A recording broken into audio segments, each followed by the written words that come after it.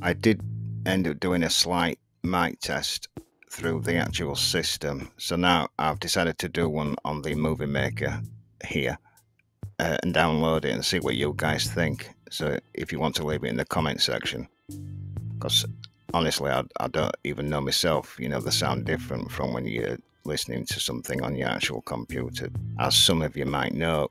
But I'm back from my little holiday there with our last like for my 50th birthday, and uh, I have decided to open another channel. I will tell you the link to that uh, as it gets moving along. I'm not. I'm not going to do it immediately uh, because YouTube has just crushed me. So I don't want to just destroy the channel before I've even got moving with it. Don't know if I'm going to be putting out the same information as what I do on this one, but more than likely, at least one of the playlists that I speak about, it will be about more than likely. Uh, I might even just use it for streaming games on, right? I've just recently got three more games, so I've now got Escape from Tarkov, Red Dead Redemption, Life is Strange, and Little Nightmares. But it would be somewhere where you could throw questions at me as well. You know, I'm, I won't just be sat there not not answering questions and just ignoring everybody.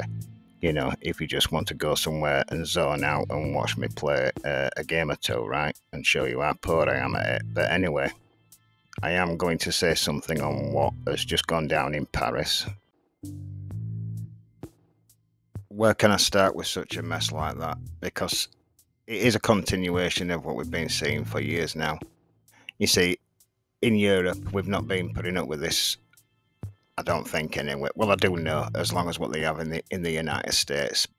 But the Americans have got to solve their own problems with their own government uh, and media, which is trying to separate and cause trouble between the races, namely blacks and whites, when really, before, from what I can remember anyway, before about a decade ago, there wasn't any real racism. Yeah, you might get pockets here and there, which we always have to say, but in general, everybody just lived together, right? They're just Americans, are they? It doesn't matter what colour that you are, right? if you love your own country and you're wearing American t-shirts, you know, and you love where you come from, or you're willing to play sports for your own country, but they just seem to be going out of the way. Uh, I mean, is this all that the left wing have got left? Because that's what it seems like. It's like they've literally not even got any policies anymore. But with this gay gender thing, look, at some point, you have to stand for something. Yeah. So we have to stop. We have to fight back at some point.